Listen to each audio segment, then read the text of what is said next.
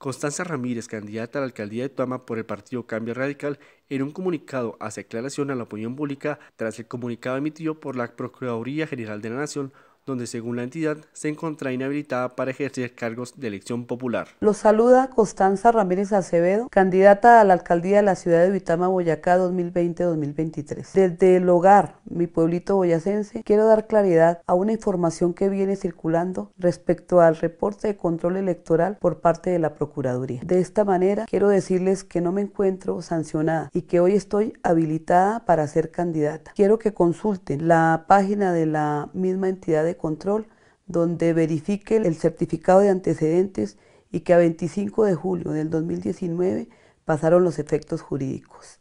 Invito a todos los ciudadanos y a mis amigos que sigan siendo solidarios y a los que hoy están viendo este video, que no me conocían, sepan que estoy trabajando muy duro por esta ciudad, que fui alcaldesa y lo hice bien y lo vamos a hacer mejor en esta ocasión. La transparencia, la experiencia adquirida y mi visión de ciudad soportadas en un programa de gobierno con siete fundamentos, consolidan esta propuesta denominada Duitama Flores.